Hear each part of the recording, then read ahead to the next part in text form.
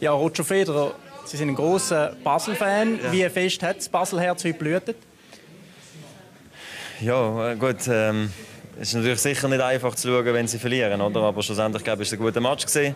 Ähm, mir es schon mal das erste Mal gefreut, überhaupt ich können mal endlich im Stadion sein. Die Atmosphäre ist unglaublich gewesen. Ähm, Basel-Fans, die kennen die sind halt super, vor allem auch daheim natürlich. Und äh, schade, dass es nicht gelangt. Ich habe das Gefühl, sie haben es fast noch können drüllen am Schluss oder wenigstens einen Unentschieden rausholen. Sie sind in der Kabine bei der Mannschaft. Was haben Sie ihnen gesagt? Ähm, gut, ich habe keinen grossen Anspruch gehalten, natürlich. Oder? Das war mehr das Aufmuntern so, oder zum sagen, schade oder gut gespielt, weil ich habe wirklich das Gefühl, sie haben gut gespielt, obwohl ich bin jetzt nicht gerade jetzt der Experte natürlich. Äh, manche haben sich gefreut, manche sind natürlich enttäuscht gewesen. Ähm, interessant natürlich die Spieler gesehen, gerade so nach einem grossen Match. Ähm, aber ich hoffe doch, dass sie es ein bisschen aufmuntern können. Gibt es so von den Emotionen her Parallelen zwischen dem Tennis und dem Fußball? Was denken Sie?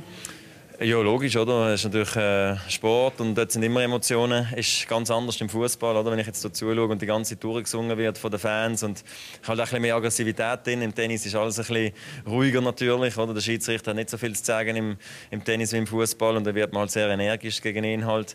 Ähm, andere Atmosphären, aber ich sehe schon manchmal auch, ich spüre Frustration als Spieler, als Tennisspieler und ich sehe das halt auch bei den Fußballern. Ist auch normal und von dem lebt auch der Sport.